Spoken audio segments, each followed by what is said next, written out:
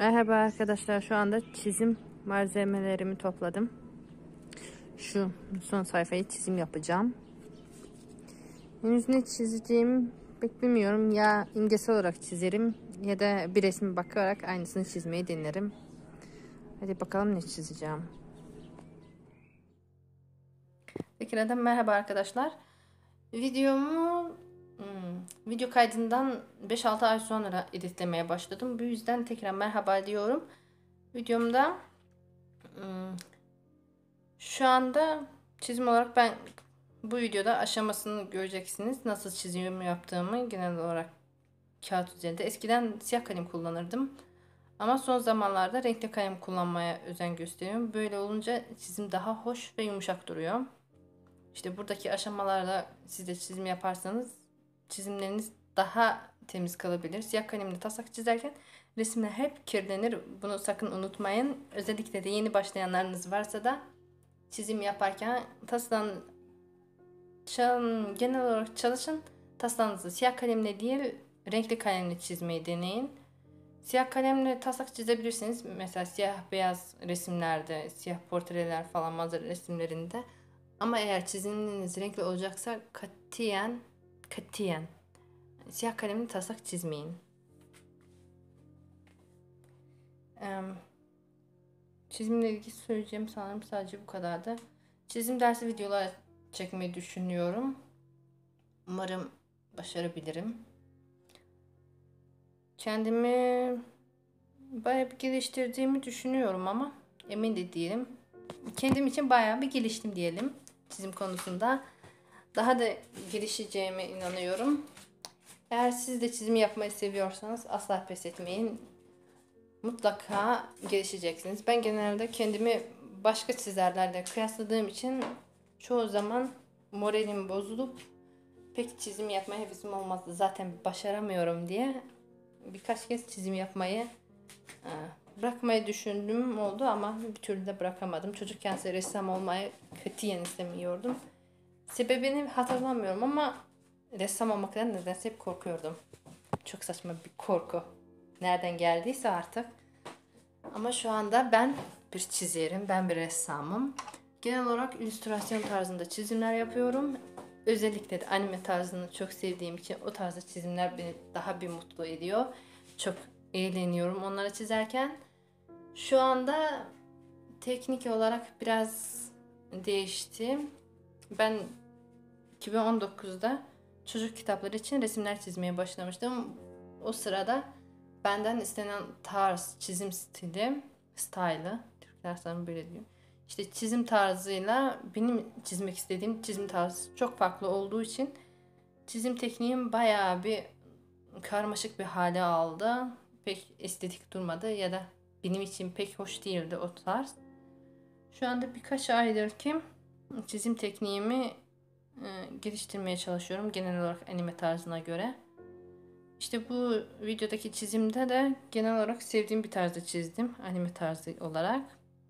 Bu arada bu çizimdeki karakter benim hmm, gençinden bir karakter. ismini unuttum ben. Baya güzel bir karakter ama bana çıkmadı bir türlü. Bu aralar sanırım pek oynayamıyorum gençinde. 55-56 seviyede kaldım. Ara sıra oynuyorum. Umarım bir gün çıkar bana bu karakter.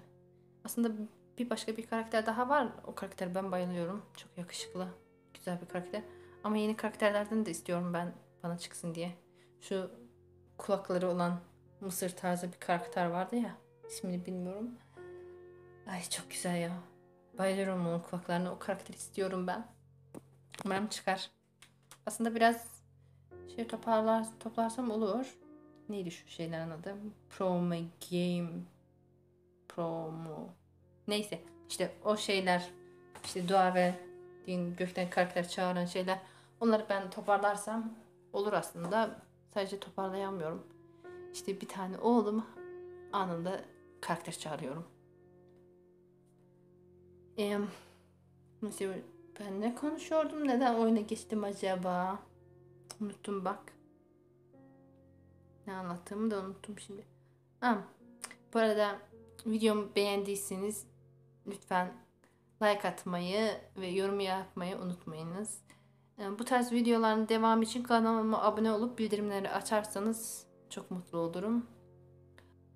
Aslında bu tarz videolar ya da eğitim tarzı ya da çizim teknikleriyle ilgili benim kullandığım bildiğim onlarla ilgili videolar çizmemi istiyor, çekmemi istersinizse de yorumlarda bunu söylerseniz çok sevinirim. Böylece ben de sizin ilgi alanınıza uygun olan bir şekilde videolar hazırlayabilirim. Eee, Az önce bir çağrı, telefon çağrısı oldu. Bu yüzden konuştuklarımı da unuttum daha öncesinde. Ne güzel. Ne anlatıyordum size her şeyi unuttum ben. Resmen şu anda kafa gitti. Her şey gitti ya. Ha, işte şurada videoda da gördüğünüz gibi ben e, renkli kalemlerle tasarımını çizdikten sonra ince detaylar, gözlük, kipriklerdi, kıyafetlerde küçük detaylar olsun. Yani küçük ayrıntılarını, son detaylarını siyah kalemle çiziyorum. Eğer ben e, sulu boya yapacaksam ya da siyah kalem yapacaksam bu kalemle devam etmeyi tercih ederim. Ama genel olarak gerçekçi, realistik çizimler için böyle kalemle çizdikten sonra devam ederim.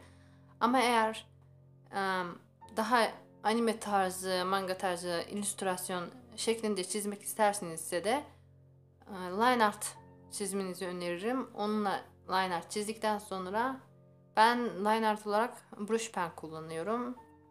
Videonun bir yerlerinde onaki o kalemi geçerken onun resmini de koyarım. Ee, başka ne anlatacaktım? Ya kafa gitti her şeyi unuttum ben ha, konuştuklarım ya. Ee, sonrasında ne vardı acaba? Ben ne anlatıyordum acaba? Bak görüyor musun? Kafa gitti resmen. Am, ben bir de bir konu açmıştım. Instagram sayfamdaki absürt çizim diye işte öyle bir e, videolar için video konusu yapmak istiyorum. Ben YouTube'da görmüştüm. Absürt çizimler diye bir program vardı bir çizerin sayfasında ve bu benim çok hoşuma gidiyordu. Çok eğlenceliydi. Ee, şöyle ki hmm, takipçiler e, çizen takipçileri onun e, sorusu bir konu veriyor çizer ya da vermiyor sadece söylüyor ki örneğin ben benim için absürt çizim fikirleri söyleyin. Anime tarzı olsun animelerden olsun veya filmlerden olsun yiyeceklerden olsun, bitkilerden, hayvanlardan herhangi bir konudan olsun ya da özgür seçenek olarak kendi absürt fikirlerinizi söyleyeceksiniz ve çizer de bunu kendi fantezisini işe salarak, çalıştırarak sizin söylediğiniz görüntüyü, tasviri resmetmeye çalışacak. Ben öyle bir şeye kalkıştım. Sanırım iki çizim yaptım. Şu anda ben üçüncü çizimini yapıyorum. Üçüncü çizimin de resmini bir yerlere koyarım. Dur en iyisi ben koysam mı koymasam mı? Yok koyacağım. İlginç olur. Dijital olarak çiziyorum bu arada. Ha, bir de eğer dijital çizimlerimin de videoların gelmesini isterseniz ise yorumlarda bunu mutlaka mutlaka dijital çizim de gelsin diye yazarsınız. Çok sevinirim. Çünkü eğer dijital çizimlerim de olursa Videonun önünde başında anlatıp anlatmadığımı unuttuğum için tekrar söylüyorum eğer anlattıysam. Dijital çizimlerimin de gelmesini isterseniz de ben çizim dersi videolarımı daha çok yapabilirim. Çizim teknikleriyle ilgili falan. Çünkü dijitalde de kalemde kullanılan teknikler neredeyse hepsi aynı. Sadece dijitalden geleneksel çizimin tek farkı şu ki geleneksel çizimde hata yapma şansın hmm, nasıl söylesem hata yaptıysan çizimin batar. Yani hata yapma lüksün çok düşük. Yapamazsın. Yapmamaya özen göstermelisin çizim yaparken. Özellikle de taramasını yaparken. Ama dijitalde istediğin kadar hata yapabilirsin. Ne kadar hata yaparsan yap, yanlış çizgiler atarsan at. Sonunda çizimi yine de güzel yapabilirsin, düzeltebilirsin. Hatta yanlış olan, yamuk olan çizgilerini bile dijitalde düzeltebilirsin. Ama Geleneksel çizimde bunu yapamazsın. Ve geleneksel çizimde kağıt olsun, kalem olsun, boya olsun hepsi maliyet oluyor. Ve kalite konusu da biraz zor oluyor renkler konusunda. Ama dijitalde renk seçeneği özgür. İstediğin kadar renk seçebilirsin. Renklemen de son derece özgürdü. İstediğin gibi renkleyebilirsin. Renkleri değişebilirsin. Ama gelenekselde sen pek fazla renk değişemezsin. Değişirsen de resim mahvolur. Örneğin ben gouache boyama yapmayı bilmiyorum. Sulu boyama yapmayı bilmiyorum. Bunları bazen ara sıra deniyorum ama denerken de bayağı bir zorlanıyorum. Aşırı zor geliyor benim için öyle teknikleri kullanmak. Çoğu materyalle çizim yapmayı neredeyse hiç denemedim. Maalesef.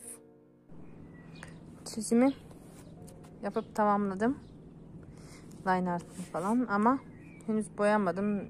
Nasıl boyayacağımı emin değilim. Aslında renkli kalemlerle boyamak istemiştim ama şu anda gün batımı ve hava soğumaya başladı. Bu yüzden devam edemiyorum. Belki de dijital olarak boyadım. Zaten içeride eğer odada renklersem videoda pek iyi durmayacak. Bu yüzden boyama kısmının videosu olmayabilir. Görüşmek üzere arkadaşlar. Kendinize iyi bakın. Hoşçakalın.